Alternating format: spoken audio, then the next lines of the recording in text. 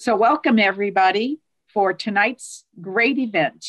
You're going to love tonight's adventure. Our speaker is going to get questions at the end. And so please use the chat function as usual to ask any questions when they arise, because we don't want to miss any of your questions when they happen. And our program, as usual, is being recorded tonight. So, welcome, one and all. I'm Ann Mason, a member of the program committee for the National Railway Historical Society's DC chapter, and I'm your host for this evening. Joining me tonight is Garen Goldsmith and Jim Perry, who will be assisting me with the logistics, and Carl Fowler, who will be our presenter. On our next slide, you will see that our DC chapter's mission is to, to expand the public appreciation of railroads and their history through preservation and education. And we accomplish this through a variety of programs, including sponsoring a scholarship to Rail Creek Camp for a high school student, preserving and operating our beloved 1923 Pullman car, the Dover Harbor, maintaining a railroad library at Bowie Tower, Maryland, and publishing our monthly newsletter, The Timetable. Another way is to have our monthly free public programs, including tonight's event. And on the next slide, you will see our speaker tonight is Carl Fowler. And Carl is going to take us on a search to travel to Alaska by rail. This rail trip was one frequently requested by his clients at the Rail Travel Center, where he served as vice president and general manager for over 33 years. Yet it was a never a trip he could accommodate and arrange. Mr. Fowler is a passionate advocate for passenger rail service, and he's traveled over 350,000 miles worldwide by train and counting. Mr. Fowler says uh, he is long life long advocacy for passenger rail travel originated in the family blood. After all, at the time of, of his birth, his mother was a Pullman reservationist at Penn Station in New York. So let's settle in and let Mr. Fowler tell us about the rail journey to Alaska, our journey that we cannot take by rail, but maybe someday. Okay, Carl, we're Thank ready you. to join you on the quest to Thanks. Alaska. I am, uh, as you mentioned, the retired uh, vice president, later president of Rail Travel Center and Rail Travel Adventures. And I've served on the board of directors of the Rail Passengers Association off and on for almost 50 years, been involved in this process almost all my life. In 1983, I created a specialty travel agency uh, that was designed to provide rail travel assistance and organize tours by train all over the world. And one of our primary destinations for the next 30 years plus was Alaska. But it was never possible, as you mentioned, for us to actually deliver a trip to Alaska because no road was ever completed to Alaska. Now, this is one of those funny things. We got constant questions from customers. I want to take the train to Alaska. I saw the White Pass in Yukon, or I saw the Alaska Railroad, and I want to take the train up there. And we'd have to say, you can't take the train up there.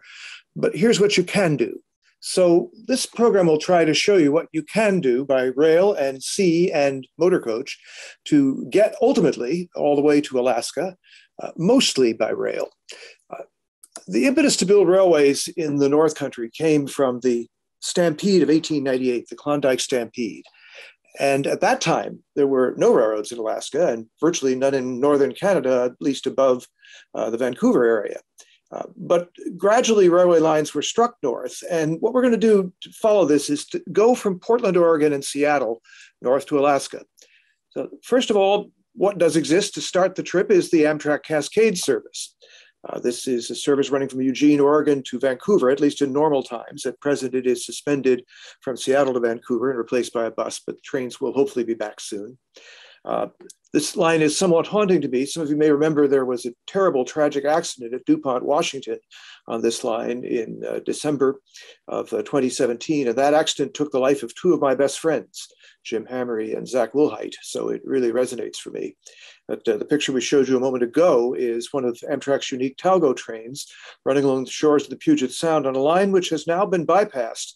If you look on the map on the right, by a new route, which was actually an old freight bypass uh, upgraded for passenger service uh, to go around the sharp curve up at Point Defiance and avoid a narrow tunnel, which was causing traffic congestion for the BNSF.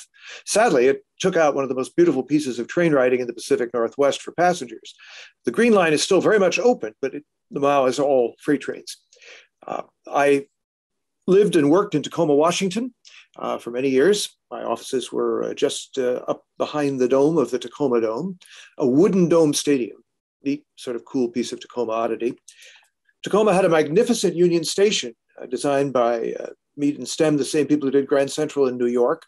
And it has one of the least known streetcar lines in the United States. Only been a mile and a half long now, although they're just about to open a two mile long extension of it. Uh, but it starts over by the dome at a parking garage and runs past the new Amtrak station and through downtown Tacoma and past Tacoma Union Station.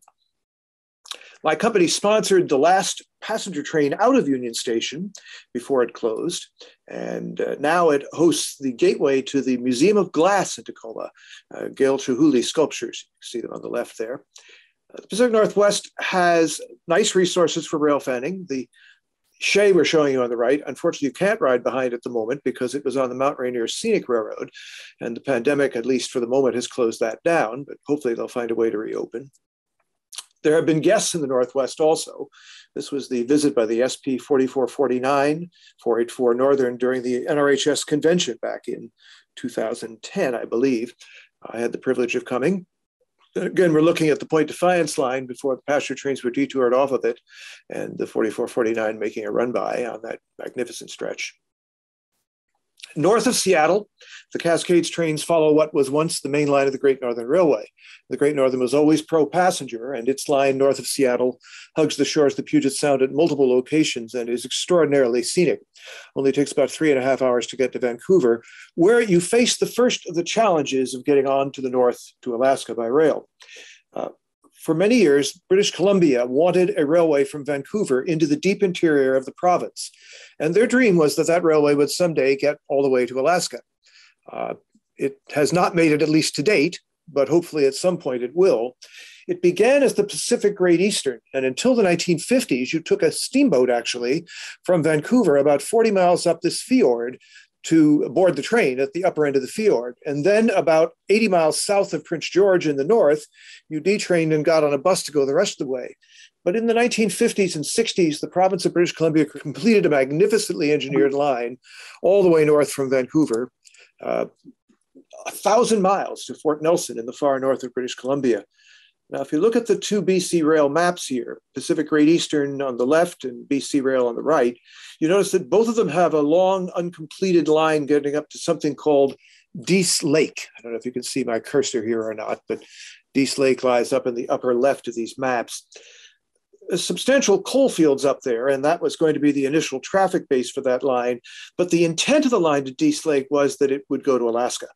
Another 100 miles to the north is Watson Lake in the Yukon Territory, and another 150 miles beyond that, uh, they would have taken them well into the Yukon Territory and within striking distance of Alaska. The Dease Lake line was almost finished. Ties were in place. In some places, the rails were sitting on the ties but not yet spiked down, and final ballasting was awaited when there was a change of government in British Columbia. And the new government came in and said, Nope, that's it, we're done with the Dease Lake branch, and walked away from the uncompleted line. They did finish it to Jackson, where there is a lumber mill. Uh, we did run one excursion on it once, but uh, the line has never been finished. The upper portion up to Dease Lake is used by the local Indian bands, uh, First Nations bands, as they'd call them in Canada, for local travel. They run their four wheel drives and their snowmobiles and their ATVs on it.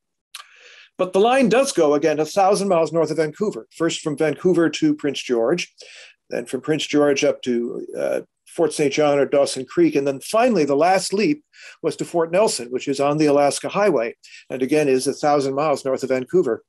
And uh, this is an extraordinary railroad. For many years in the 1990s and early 2000s, my company ran joint tours up the full length of the British Columbia Railway, a company called Mountain Outings Tours.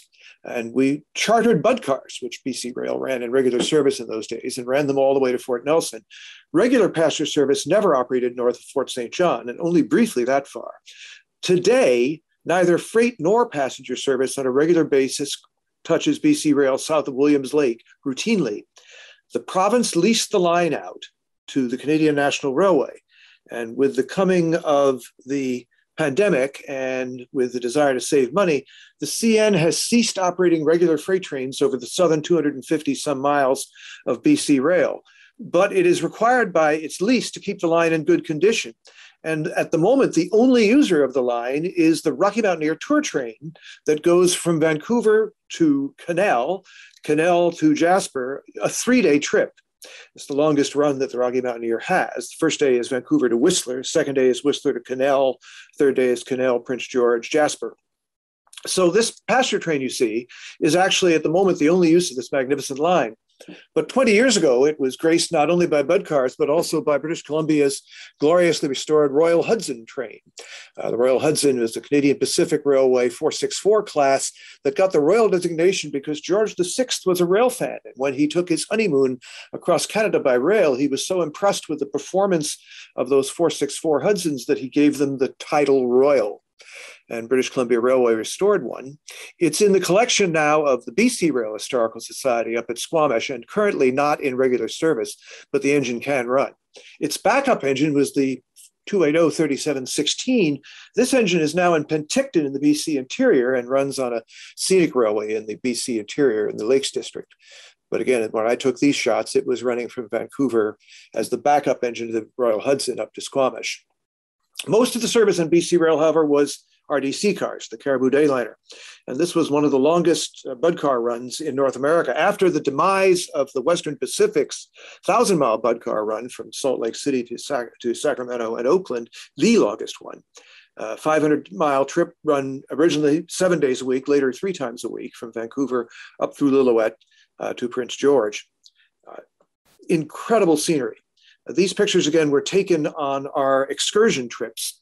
And so they're a little bit different than the train you might have encountered if you came on your own, in that there are more cars on in some cases because we were chartering two Bud cars for the excursion part that went on beyond Prince George.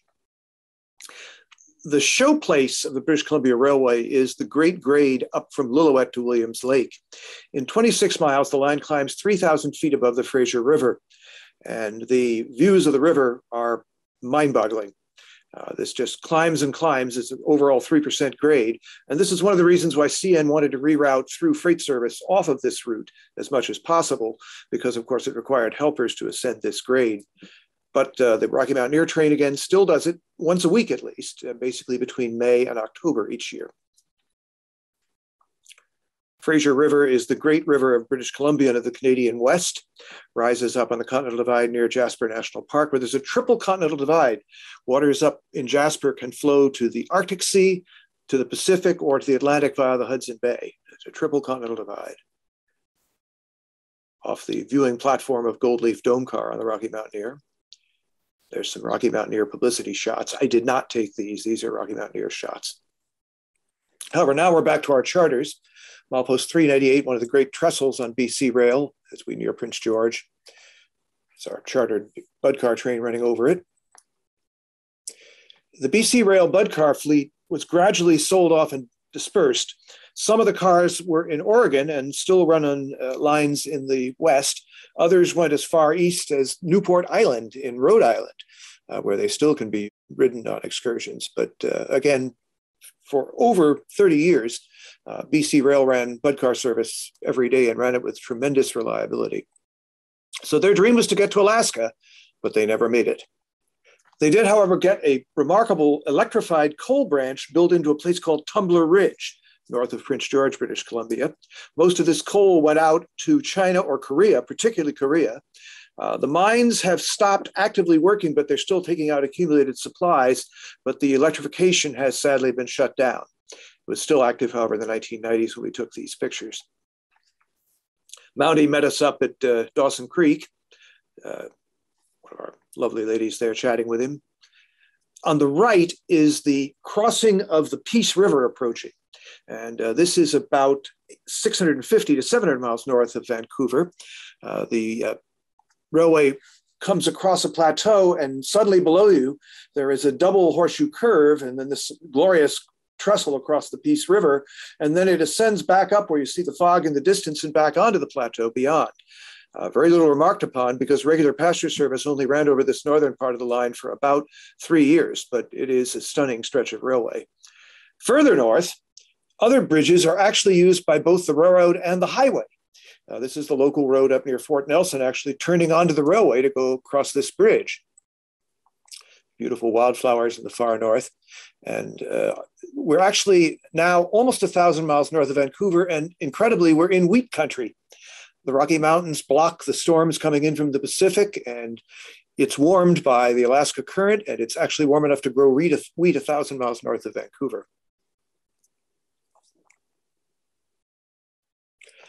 But you still haven't got to Alaska. So what's the alternative? Uh, the Canadian railway called the Grand Trunk Pacific thought they had that figured out. They would strike a line from Edmonton uh, out to Prince Rupert, about 600 miles north of Vancouver, which, if you look at a globe, is actually closer to the major ports of Asia than Vancouver, Seattle, or San Francisco. Uh, a man named George Melville Hays was the great backer of the Grand Trunk Line's Pacific extension. Uh, and one of the ways you can follow his particular eccentricity is going west from Winnipeg to Edmonton across the prairies. Station names on what had been the Grand Trunk line are alphabetized. A through Z, and the alphabet repeats a couple of times. That was Hays's way of making it simple to figure out where you were. Uh, he went to Europe in 1912 to raise more money to complete his empire and was thrilled to come home on the Titanic. It would get him home faster than any other ship and would be so comfortable. And he, of course, then most of the bonds he was bringing home went to the bottom of the Atlantic. Uh, but the line did get completed to Prince Rupert. This is a map of the dream where it made connections to steamer services going north to Alaska. Uh, but if you look on the right hand side, you can see near Terrace, up near the top of this map, that there is a series of dotted lines heading off to the north. And that was the Grand Trunk's idea of how to get to Alaska. Would have gone up through Watson Lake and Whitehorse. And that basically follows what today is called the Cassiar Stewart Highway, a secondary route to the Alaska Highway, but a magnificent driveway to get to uh, Alaska. This line has one of Via Rail Canada's best kept secrets, a little train called the Skeena, which runs three times a week from Jasper to Prince George, where you overnight hotel at your own expense, and then on to Prince Rupert the next day. It has survived because although roads appear to parallel it, there actually are long stretches on the other side of various rivers where there are no roads into isolated villages. And for that reason, the Skeena has been maintained, and it's a magnificently scenic run. The homemade single level dome car there on the left was the model for the similar cars that the Rocky Mountaineer is using in Colorado and using for their Silverleaf uh, service in uh, the Rockies. This particular car was built originally for the British Columbia Railway for a very briefly operated tour train called the Whistler Northwind. Uh, however, Via Rail bought the three cars that were made and they're used in the summer as an upgraded tour class on the Skeena and on the Canadian itself uh, as an extra lounge space for sleeping car passengers. Ultimately, this route reaches the fjords going out to Prince Rupert. Uh, this is the Skeena River Fjord, and again, it's absolutely magnificent. The block signal you see there has just gone in when I took this picture. Uh, the uh, line had not historically been signaled. Now it is actually blanketed with container trains and coal trains. And uh, the Skeena, although it has a very leisurely schedule, is often three to four hours late because the CN runs uh, under precision scheduled railroading 200 to 250 car long freights on the line, but most of the sidings aren't that long. So uh, trains get fleeted two or three hours, everybody goes west, then two or three hours, everybody goes east. And if the VIA train shows up in the middle of the fleet, it often gets rather badly stabbed. Uh, this was the predecessor to the dome liner I've been showing you. This is what VIA and the CN had run historically to Prince Rupert. And this was a full service train with sleepers. It did not overnight in Prince George, but it cost so much to run with sleepers and diners that it was replaced by the day train that you saw in the previous slides. At Prince Rupert again, you had to port steamship. And uh, to this day, you still could. Alaska State Ferries will take you north to Skagway. So this is going up the inside passage in the days of active railway construction in Alaska. The primary uh, lines serving Alaska were the Canadian Pacific's Coastal Steamer Service and a company called the Alaska Steamship Lines, which ran uh, freight and passenger service from Seattle to Alaska until the early 1950s when they dropped the passenger side of it. Although to this day, they still have a limited presence as a freight carrier. This is from an Alaska State ferry between Juneau and Skagway, summer of 2009. So, this is what actually did get built in Alaska. And we'll visit all of these lines at least briefly. First, the White Pass and Yukon over on the right, three foot narrow gauge line, completed in 1900 to bypass the infamous Chilkoot Pass. I'll talk more about that shortly to get the Stampeders up to Whitehorse, where they could board steamships to go on to Dawson up in the northern Yukon Territory, the height of the gold mining area. Next over the Yakutat Southern, also known as the Situk Railway, which was built to haul fish and ran with the tides. If the tide was out, the boats could not get into the port and the railway didn't bother to run. If the tide was in, they would run trains. Uh, there was no fare to ride it as a passenger, but you could. And that line actually lasted for decades, well into the 1970s. Third, perhaps the most amazing line in Alaska, the Copper River in Northwestern, which went from Cordova on the Gulf of Alaska to Chitina and Kennecott in the Alaska interior. This line actually at one point ran on the face of a glacier. And I've got quite a few pictures of this. I got to see its terminus at Kennecott in 1978 before it became a national park and before it was redeveloped. And it was the ultimate dream of a ghost town. Literally, there were patient records clipped to the beds in the hospital, and the hospital had closed 40 years earlier in 1938. Next to the west, the Alaska Railroad itself, which is very much in business, uh, very active to this day. And then beyond Fairbanks, heading to the north, the narrow gauge Ch- uh, Tanana Valley Railway, which actually, since this map was produced, has been partially recreated as a new line of the Alaska Railroad itself, heading out towards North Pole and eventually, perhaps, down to British Columbia and Alberta. We shall see.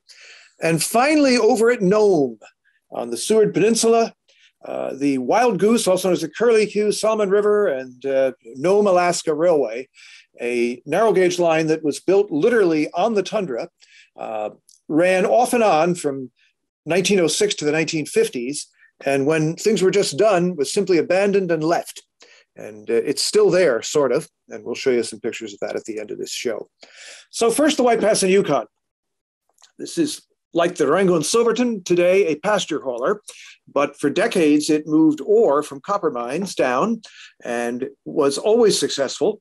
It took two years to build and was an extraordinary accomplishment. Went from sea level, where the trains actually, in the historic days and today, go right out on the pier to meet cruise ships, and ascended the White Pass.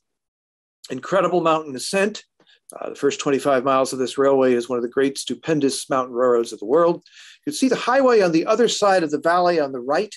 Most cruise ship passengers go one way by bus and one way by train. But this line went all the way to Whitehorse, where again the steamer services could consistently run on the Yukon River. The Great Trestle on the right has now been supplanted by a newer modern bridge. It's still there, but its foundations were becoming unsteady, and the White Pass and Yukon had to create a new trestle behind it. We're going over that new trestle in this shot. These are pictures that we took on a charter of mine in about 2009 that went all the way from Carcross down to Skagway on one of our Alaska tours. And we actually chartered them to run for us.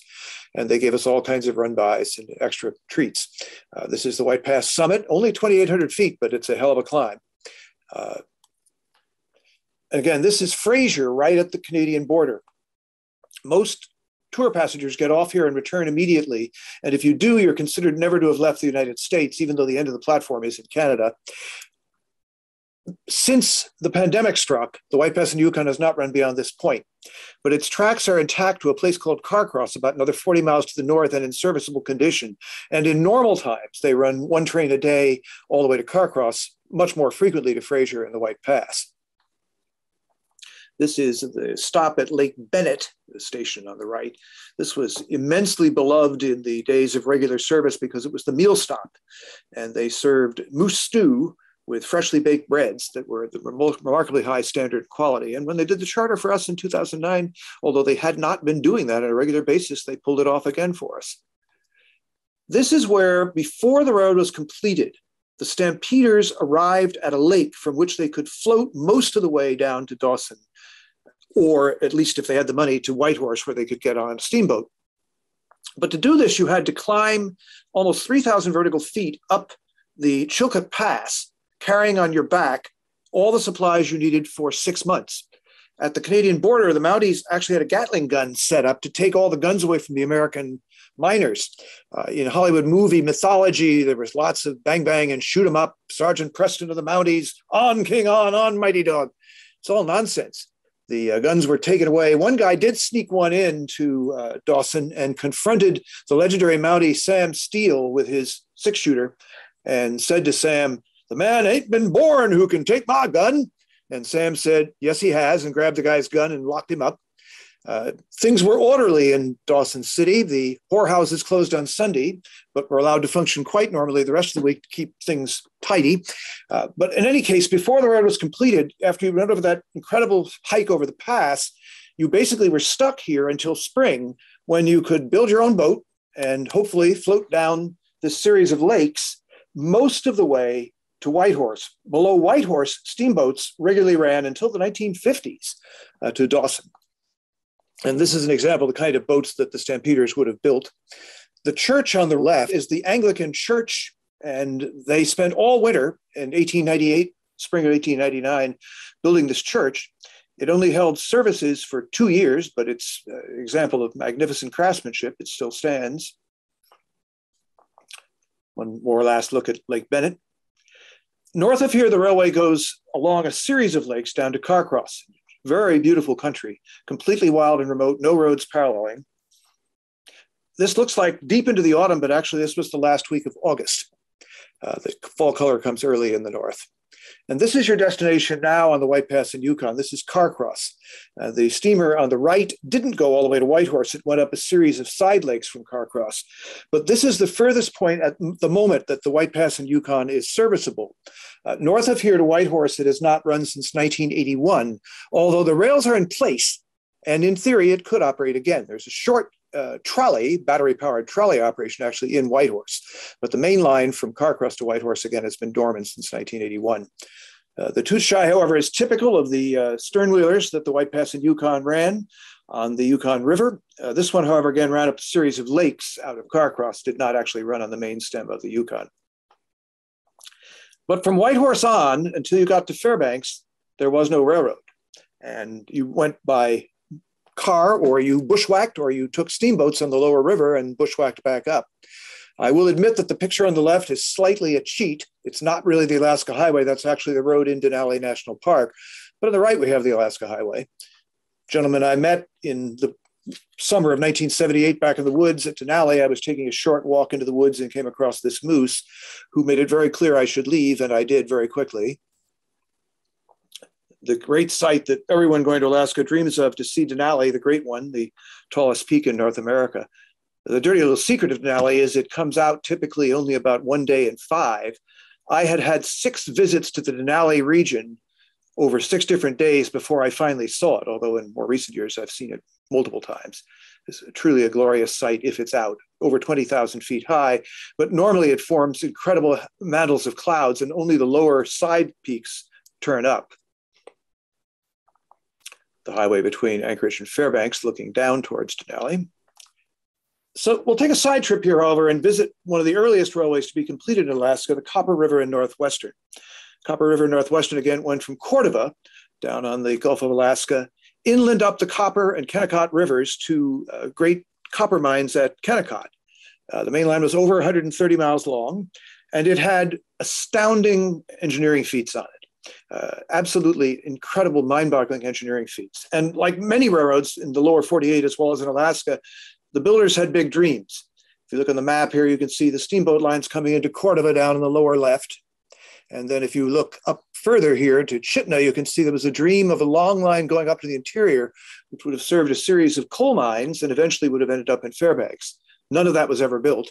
But the main line continued west to Kennecott, And that's the same Kennecott as the Kennecott Copper Company's operations down in Utah. But the Kennecott mine in Alaska was, for its time, the richest copper mine in the world. Uh, and it was worth building this remarkable railway to it. And it was remarkable for a number of reasons, not least of which the war had had to fight with glaciers. About 50 miles up the line, it came to a point where it crossed the river. They built what they called the Million Dollar Bridge, only to have the Million Dollar Bridge almost immediately threatened by glaciers approaching it. This was an aerial shot taken in the 1920s of the Million Dollar Bridge. And they haven't been plowing in this shot, but uh, if you look just in the center, upper center there, that's one glacier coming down, and the river itself has another one just around the corner. At one point, these two got to within 1,600 feet of the railway before they providentially retreated. But further up, there was no dealing with it, no avoiding it. Uh, this is the Allen Glacier. And uh, first, the Copper River Northwestern had to tunnel under one of its avalanche slides uh, along the lateral moraine. And then, for a distance of about five and a half miles, they actually had to lay track on the outwash of the terminal moraine of that glacier. And it required constant checking by section crews to make sure the track hadn't shifted out of alignment. Uh, then they went into a series of magnificent canyons uh, along the Copper River. High trestles were built. Most of these, by the way, still exist, although to see this one, you'd have to bushwhack in about 15 miles on the abandoned grade. At Chitina, uh, they crossed the uh, Copper River where it joined the Chitina River and the Kennecott River. And this is where that branch line of the coal fields would have gone off. You notice that the trestle actually descends down almost to water level uh, and then climbs back up. There was a set of switchbacks on the far side of this. This is the Gilahina River trestle, which is still in existence. The highway today actually goes down the slide on the left and parallels this. You can no longer drive across it. But uh, when the railway died, the state of Alaska intended to convert the entire Copper River Northwestern to a highway. They never finished it. The part in the canyons with all the glaciers was never fully completed to a highway. And so much damage was done to it by the 1964 earthquake that that project basically was simply walked away from. This is some examples of the kind of damage the earthquake did. This was a highway attempt to get into the Kennecott region. Uh, the outer spans were knocked down, and at least when I took these pictures in 1978, they had been down for 14 years. I don't think this bridge was ever rebuilt. This was, in fact, how you got into Kennecott by 1978. You literally pulled yourself across the Kennecott River on this little tram. Uh, this looks like I did this all the way across. Actually, this is a cheat I flew in from Chitina uh, to McCarthy on the uh, behind me in the picture on the left, and then my friend Huntley and I went down the railroad grade to where the river was and tried to pull ourselves across on the tram. I realized when I got about halfway across that neither I nor Huntley would ever be able to get back if we went to the far side, and I went back as quickly as I possibly could. So, how did the railroads get across this? Well, the answer is there was a trestle here, just like the one at Chitina, which went down almost to water level and then it ascended back up. They did that because every spring a dam would burst on the Kennecott Glacier about 10 miles above, and a wall of water comes down the river and would wash out the bridge. And ultimately, the railroad just decided, look, this is going to happen every year. We'll build it light and we'll just put it back. But of course, once they abandoned the line in 1938, there was no longer any point in putting it back and it disappeared. There is now a footbridge actually across the river here. The state of Alaska built a footbridge, but not a road bridge. You can drive your car to the far side, the west side, uh, go across the footbridge by foot, and then you can either walk into McCarthy a mile or to Kennecott six miles, or a local shuttle bus will take you in. Here is the uh, bridge that is no more. This is McCarthy. Uh, this was the uh, naughty part of the Kennecott mining empire. Uh, the Kennecott Copper Company kept all booze and all women of the night out of Kennecott. But five miles down the grade, here in McCarthy, everything was open wild open, wide open. And uh, much travel occurred between the two locations, even in speeder cars. When I had the visit up here in 1978, they flew us into McCarthy and then we were shuttled up to Kennecott. And the highway had been the railroad, and the track had never been torn up on this side of the river because the trestle washed out. When they decided to make a highway out of it, they just took a bulldozer up and shoved the railroad aside. Uh, the twisted rails and all were lying to the side. But uh, this is what you reached at the upper end of it. Again, one of the richest uh, copper strikes in history. 1906 uh, to 1911, the road was built. 1911 and 1938, they operated here. There are really four mines here. that all use the railway to come out. Uh, this was the terminus station. And these tracks were not shut over by the uh, bulldozers. When I was up there in 1978, rails were still there. In the siding near the powerhouse there, there was a switch. I walked up to the switch and threw it, and it worked. Uh, there were calendars from 1938 on the walls inside the buildings. Uh, many of the cottages were occupied by squatters, basically, although I understand now today they've bought some of them. Uh, this ghost town has been preserved by the National Park Service as part of the Wrangell St. Elias National Park and Preserve. But again, when I was here in 78, it was almost like 1938 had been last fall. The last train out was in November of 38. I was here in 78. There were patient records clipped to the beds in the hospital. And in the office, the file cabinets had simply been dumped. Uh, all the records of the employees were all over the floor. Uh, I just picked up one uh, beaten mine record here on an injured worker on the left. This was the most perfectly preserved ghost town I have ever seen anywhere. And uh, what a remarkable thing it was to visit it. I look very intrepid here with my ice axe. Uh, this is the glacier that goes right by Kennecott. Kennecott is actually on the lateral moraine of the Kennecott Glacier. And at night, it groans and creaks and rumbles. And you think about it kind of when you're there. Uh, I walked out about two miles from the town. We were supposed to get right up the glacier, could touch it. But before I got there, a grizzly bear came down the trail on the other side, and I thought better of going any further and returned. I do need to tell one farewell and sort of sad final story about Kennecott, however, uh, of a tragedy that occurred while we were there. Alaska prides itself in tolerating eccentricity and tolerating absolute freedom. And McCarthy and Kennecott attracted a gentleman named Hastings, Louis Hastings. He had a sort of failed programmer from California who moved out there in 1980. Now, in 78, when I was out in McCarthy, a local kid took us on a charter by four wheel drive out to see that washed out bridge that I showed you. And while we were out at the bridge, he nostalgically said, You know, I could kill your ass out here and nobody'd ever know what happened to you. And I thought, Oh, that was damned weird. Well, in 1983, uh, Mr. Hastings, who had a house in Anchorage and a cabin up in Kennecott, did kill a bunch of people. He murdered six of the 22 residents of McCarthy and Kennecott and wounded two more of them. He'd gotten the messianic notion into his mind that he was going to kill everyone in Kennecott, steal the mail plane that came once a week, fly it up towards Fairbanks, and crash into the Alaska pipeline and destroy the pipeline and thus save the wilderness. He's doing 624 years in prison now at the Max Federal Supermax out in Kansas. Uh, sad thing to think about, but uh, I actually met a couple of the people he murdered, which is a sobering thought. And it occurred to me at the time that, to a limited degree at least, the celebration of extreme eccentricity was such that Alaskans and McCarthy could uh, tell who was truly free, but they couldn't tell who was truly crazy. Alas for them no state troopers within an hour's flight. There was virtually no cell phone service then. Uh, when the idiot went on his rampage, luckily, uh, a local pilot was at the McCarthy airport and was able to fly one of the wounded out, and they tipped off the Alaska State Troopers, who came in with a helicopter and caught him on the road with the snowmobile he'd stolen, trying to escape. But again, he killed six people, wounded two, and there were only 22 people total between Kennecott and McCarthy something to think about. So finally, we get to the real Alaska Railroad. This, of course, is the centerpiece of railway-based tourism in Alaska today. Uh, but it was built to be the main line of Alaska, and most of the population of the state has always lived in what they call the railroad belt, which is basically Seward, Anchorage, Fairbanks along the main line of this railroad. This was constructed as a standard gauge line, uh, built basically from 1903 to 1923. The private companies that started it kept going bankrupt. Eventually, the federal government took over 1917 and completed the line. In 1923, President Warren G. Harding came up for the dedication of the uh, Tanana Bridge, which was the final piece of engineering on the line.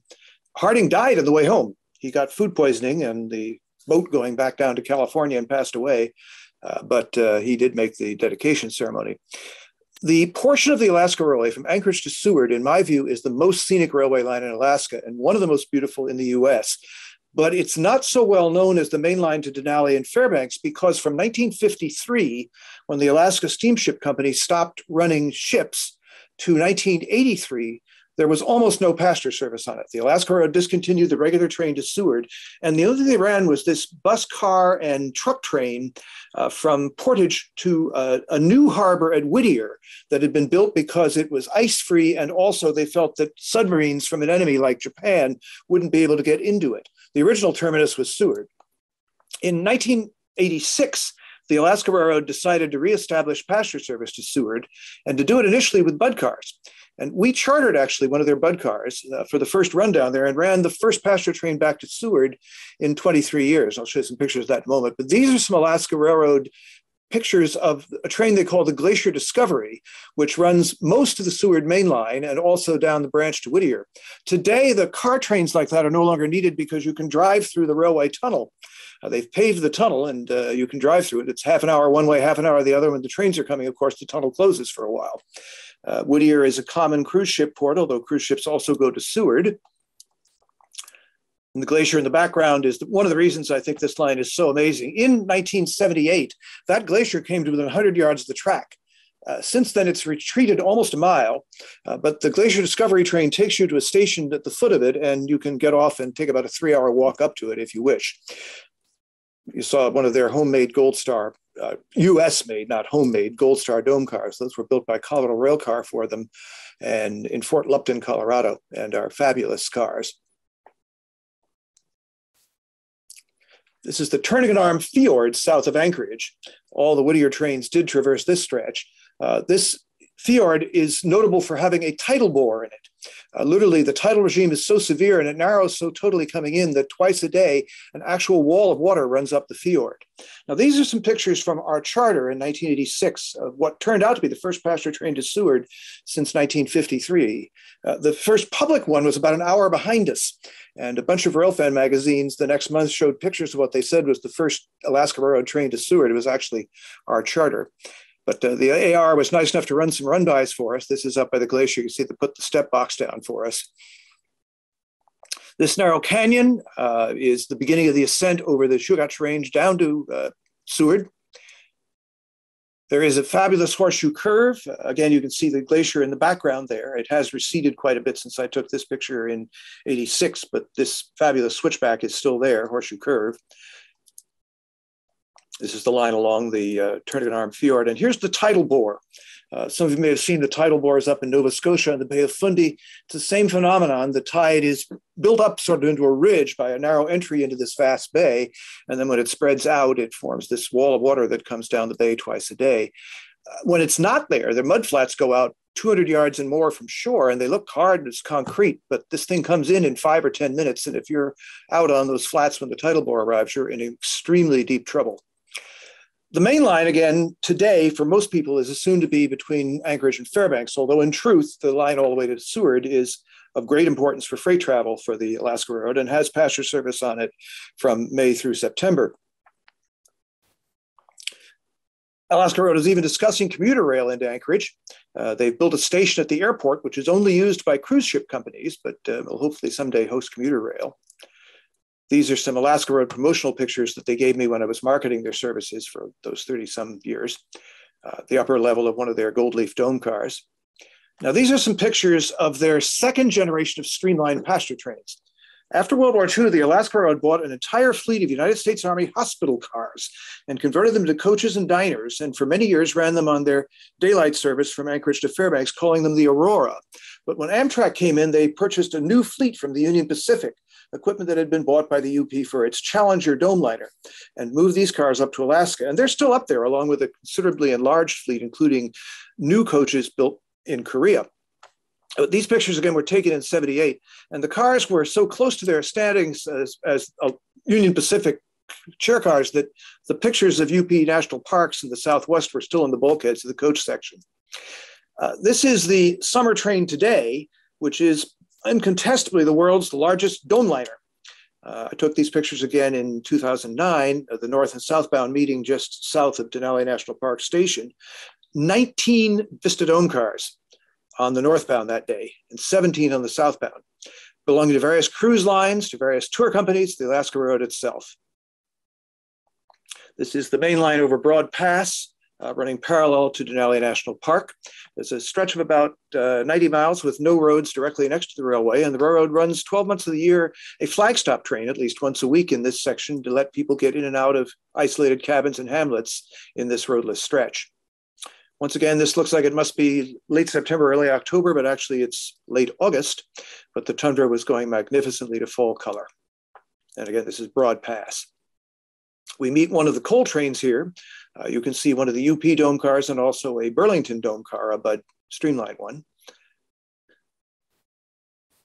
This is the bridge just south of Denali Station, the highest bridge on the Alaska Railroad. And here we have the 1978 version again arriving at Denali Park Station. They were still using F units and uh, an E unit, B unit with uh, HEP power in it.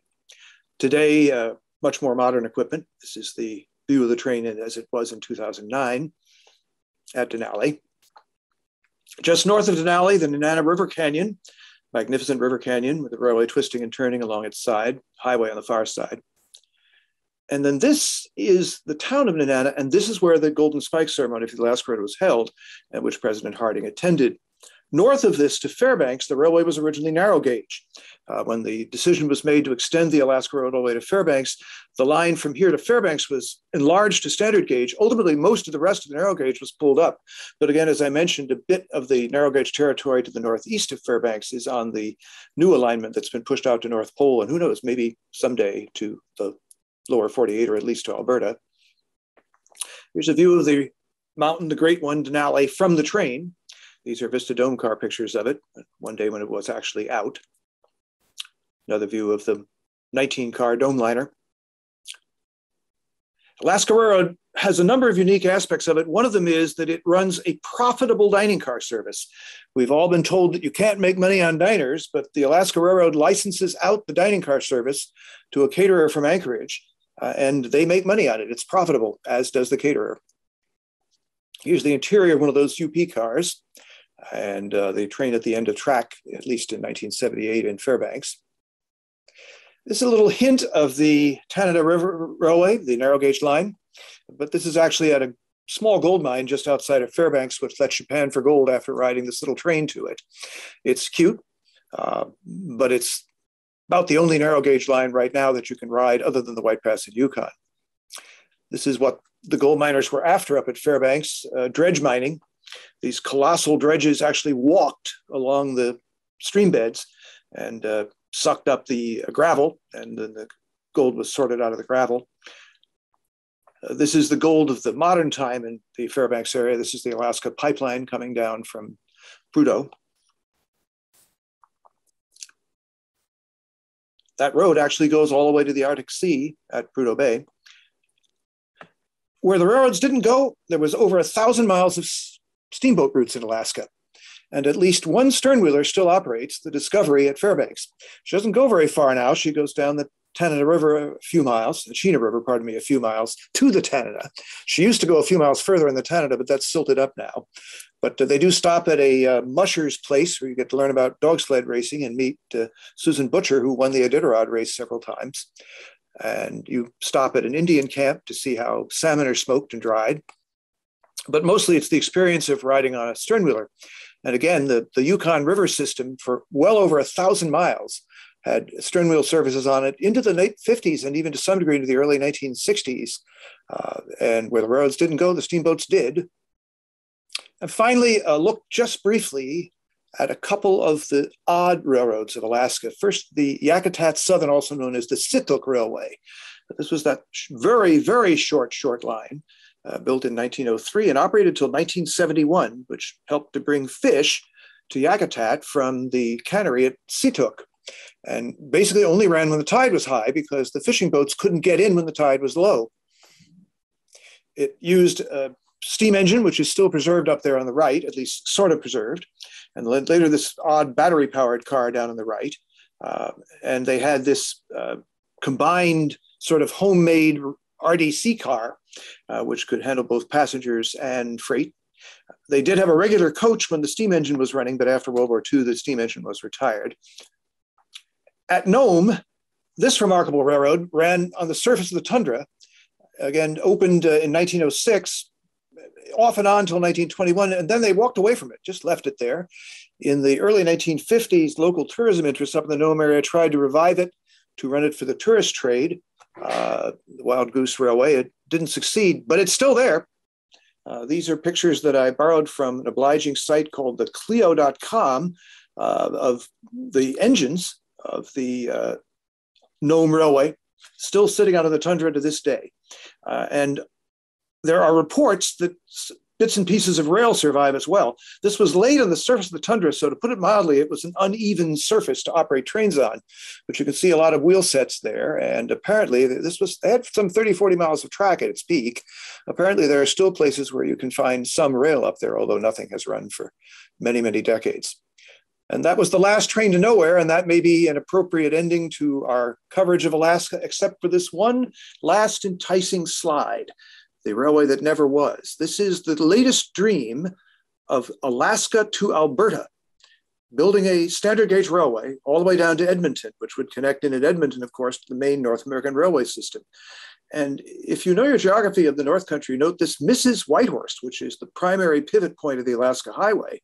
Uh, it takes a different route to the interior, I think, hoping to capitalize perhaps on some mine deposits and ore deposits. But uh, this is a dream that they think they can build for about $15 billion. I think you probably would want to take that times around 10, but uh, there is serious consideration of this. Uh, President Reagan signed some legislation to help with the cost of surveys in Alaska, at least. Uh, and so who knows? Maybe in 20 more years, we actually will be able to take a train to Alaska, the journey that never was, but finally is. Thank you. That's the show. Thanks very much. We have a couple of questions. Donna asks How do the engines and other cars get to their final destination? things were brought up on barges to Alaska.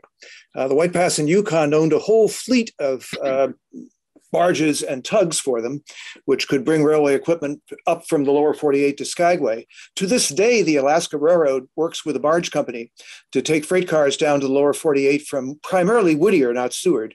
The traffic goes down to Seward is mostly coal going to Korea. But uh, in Seattle, a train will be pushed onto a barge. The barge will be pulled by a towboat up to Alaska and it'll be unloaded at Whittier, and it continues on the Alaska Railroad. Uh, the narrow gauge lines like the Copper River Northwestern, the trains were brought up in the holds of ships and unloaded very carefully.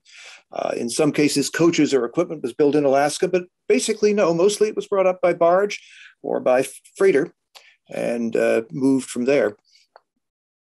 Great. Um, there was some interest in the mine, the mining. Uh, yeah, there's both copper and, and coal and gold that you were talking about. But the one question that we got was really around Kennecott and asking this is a, obviously an abandoned spot now, but is there, do you know if there's still any copper re- yeah, copper the Kennecott Copper, the Kennecott Copper Company claimed when they closed down that the deposits were exhausted. But actually, what was exhausted was the ore that would be easy to get out. Uh, and there probably is still ore up in the Kennecott area, but it will never be mined because the whole area where the mines are is now the Wrangell St. Elias National Park and Preserve. Okay. So there's going to be no future mining up there. Uh, but uh, the claim that the mines were wholly exhausted uh, was generally made by the locals up there to be an excuse to allow them to close the railway uh, without going through any regulatory process to do it. Uh, and of course, there's an irony. They shut down in 1938. If they had made it another year or so to 41, what would have happened? Lots of interesting questions there. The World War II, would they have managed to keep it open? Who knows? Perhaps yeah. they might have. Uh, in the case of other mine deposits, the coal that's up in the Anchorage area, of course, is being mined. Uh, the Alaska Railroad has several coal branches, uh, and the deposits that the Copper River Northwestern would have reached are, in fact, to some degree being served by the main Alaska Railway. Over at Seward, uh, it was to get to gold mining, uh, surface gold mining as it also was at Fairbanks. So a lot of different mineral targets were addressed by Alaska railroads. And I'm assuming that the, well, maybe I shouldn't assume that Kennecott Company still owns the copper reserves in that area. No, again, it's all in National Park Service land now. Uh, Kennecott okay. donated the railroad and all of its assets to the state of Alaska in the late 1940s with the idea that it would be turned into a road. Uh, Kennecott itself is a mixture of National Park Service and private inholdings. Many of the cottages are owned by people who were sort of uh, roosting there when the park was established. And in general, in national parks, uh, what's called an inholding, which is a private uh, enclave within the park, can be held as long as the person occupying it was alive. But they can't always leave it to their heirs. And in mm-hmm. particular, they usually can't sell it. Uh, but in the case of the copper mines, no, I think there's no chance that they would ever be reopened. And I'm quite sure that the National Park Service now controls it all. Okay, great. Thank you. Well, thank you. That was an excellent, excellent uh, uh, uh, talk and really makes us all want to get on a train and go to Alaska. And if we can't get to Alaska, at least get close to Alaska on a number of, of uh, rail tracks that, that you mentioned. That if anyone has an interest in going to Kennecott or sort of following the remnants of the Copper River Northwestern, the Alaska State Ferry System serves Cordova out of Valdez uh, two or three times a week in the summer. And you can drive about 65 miles of the grade from there up to the area where the glaciers actually had the track on the glacier at one time. From the north end, uh, you can actually drive all the way to the far side of the river by McCarthy, although it would be helpful probably to have a four wheel drive vehicle there is a lodge at Kennecott in what had been the office building of the mine, uh, and there is also a lodge in McCarthy. And those lodges can arrange air transportation into McCarthy, uh, as well as uh, pick you up if you want to drive your own vehicle. So it's not actually that difficult to get in. The Wrangell St. Elias National Park and Preserve includes Mount St. Elias, which is the highest peak in Canada and the second highest peak in Alaska. It's over 19,000 feet high. Uh, and it's an astounding national park. But aside from the one tiny intrusion of a road at McCarthy, it is completely undeveloped and completely roadless. And basically, access is by uh, plane landing on gravel bars out in the middle of nowhere um, and extraordinary. But flight seeing is very popular at McCarthy. And it's not insanely expensive. You can get a flight seeing trip over the national park for around $250. And uh, so that's something that's one way to see a bit more of it. Uh, the ghost town, again, I know is somewhat more stabilized than what I saw in 78. Uh, the Park Service had volunteers up there for years trying to inventory and catalog the paperwork that I found was still all over the floor in the offices. I'm sure the patient records are no longer attached to beds. The beds were made up, by the way, also. They were all sheeted, blankets in place, pillows on them, just been sitting there from 1938 for 40 years. But anyway, that's how you'd get to McCarthy today is you would either take a tour package arranged through one of the lodges or you'd drive to the far side of the river uh, walk across on the footbridge and then take the shuttles up into McCarthy or Kennecott. Hey, we've got a couple more questions. Um, do you know if there's a military base in Alaska today and whether that base uses rail travel? Elmendorf Air Force Base uh, near Anchorage, I believe, does from time to time use rail to bring things in. Okay. That's the one I know for sure is along the railroad. Okay. But in the case well, of most Air Force bases, they would tend to fly most of their own stuff in, but the railway does have a line that goes by the base. Okay. May I, may I say something? And, yes, absolutely. Yes. Well, hi, yeah, hi, Carl. This is uh, John Cowan. I'm a retired conductor with Canadian Pacific Railway out yeah. in Vancouver. You may not recall, I, we actually met in the 80s. I had you as a pastor on Via's Canadian out of Vancouver. Ah, yes, I do. You, you do remember me? Oh, wow. Oh, absolutely. My God. Yeah. yeah, yeah. I was the entertaining guy. But anyway, that's not why I uh, just wanted to say it was a great presentation. A, a, friend of mine locally here, retired from CP, let me know about this meeting. I didn't know anything about it. Sadly, I was 20 min- minutes late getting on. I just saw your last three or four shots of Via Skeena. So I, I can only imagine what I missed. But just want to say your presentation was excellent. You speak very well. It was very, and you're very, oh, my goodness, you're cer- certainly knowledgeable of mm-hmm. Alaska. Mm-hmm. Wow. I've done the last, I've done the White Pass Yukon twice, but I haven't done the Alaska Railroad. And I want to do it. Just one uh, minor thing you may not be aware of. I was actually in Whitehorse in 2015 and 20 and 2016 and rode that uh, uh, trolley, which came from Portugal, I think, through a, a, tourist operation in the States. After 2016, sometime between 2016 and before COVID, the, the White uh, town of Whitehorse, who subsidized it, decided to shut it down. So unless they've started running again, it's not operating anymore. You may not be aware of that. Um, that's that's the only thing. But uh, anyway, and I guess the Alaska Railroad. I wish I'd gone up there in the 70s and 80s when they ran the uh, the, the, same equipment that Via ran, but I, I missed it. But I gather they don't allow vestibule riding at all. Uh, I can't answer that. They certainly did allow vestibule riding in 2009. They had no problem with it whatsoever. And yeah. in fact, their gold leaf dome car has an enclosed pavilion outside on it, uh, which about eight or 10 people can go out on at one time. I don't know if they're still doing it. The trolley situation is interesting uh, because the White Pass New Yukon itself, as I mentioned, hasn't actually gone beyond the border to Carcross since the pandemic either. Uh, but they say they will be going back to Carcross next year. Oh, so hopefully so. they will. I will quietly run in the background for you again the Skeena slide sequence. If okay. you can still see the screen. Um, these are via promotional pictures. These are not ones I took. I did not hire a helicopter. Uh, Via gave me these slides when I was promoting them for years. Uh, ironically, Via itself hardly ever used them. This one I took, but and that one I took, but and these I took. Yeah. But those first couple were via promotional slides, and these are the ones you probably saw at the end. But, I saw at the end. I gather you've ridden that train a few times. Oh yeah, yeah. I love the Skeena.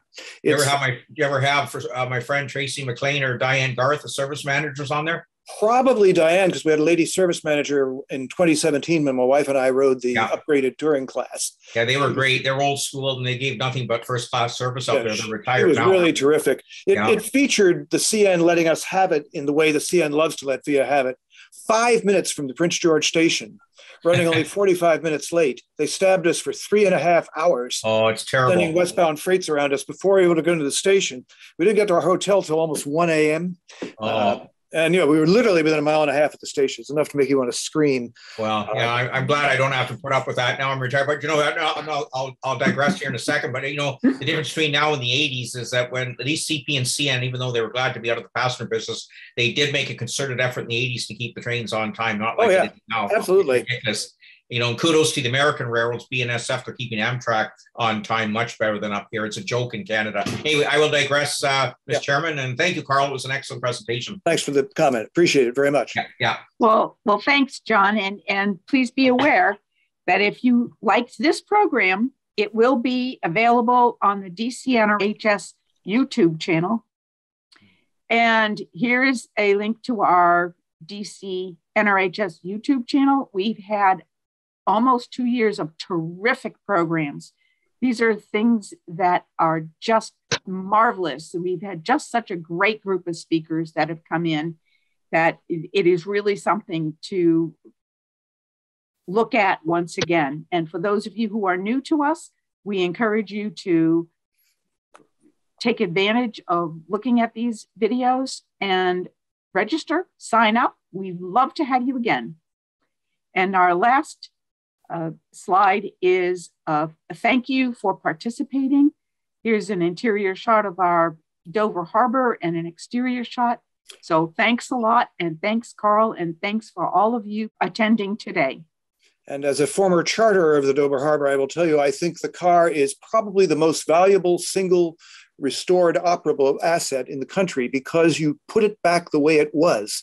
And this shows people what rail travel was actually like so many private cars are exquisite uh, palaces of luxury, but they have nothing to do with anything that ever actually operated on a railroad. This does. And uh, I applaud the chapter for its decades of effort to make this car such an incredible piece of living history.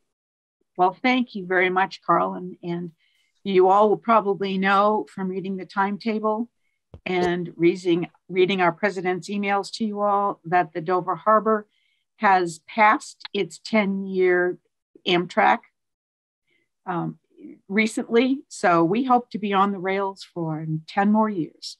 So thanks everybody. And thanks Carl for, for this great presentation. I appreciate this and I'd love to come again. As I said, I'm a, I'm a member since 1978 of the chapter and I've never actually been able to physically make a meeting. So it was a joy to finally do a program at least. Well, we'll look forward to another program with you, Carl. Thanks a lot. So we thank you very much. And once again, we welcome you all to our next presentation, and we thank you so much for joining us here tonight. Bye, all.